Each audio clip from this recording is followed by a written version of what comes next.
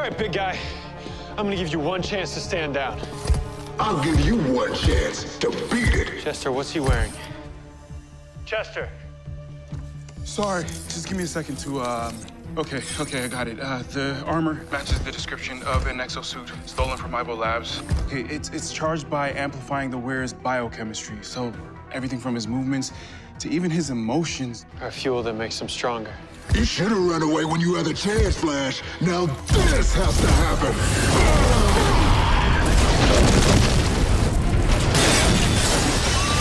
There's a lot of people in there.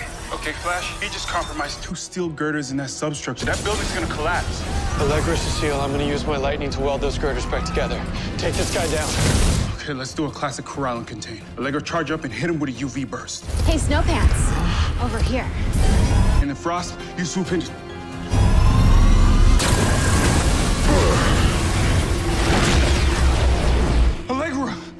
Blast knocked her out, but she's still breathing.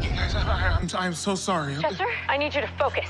You gotta help me figure out how I'm gonna stop this guy. Your friend should learn how to aim. If you can try to calm his emotions, that could depower the suit. You trying to mess with my head? What just happened? It's all of my grief from Frost. And all the panic inside the building. I can't take it. It's overloading me. I can't use my powers. Pathetic. Worst heroes ever.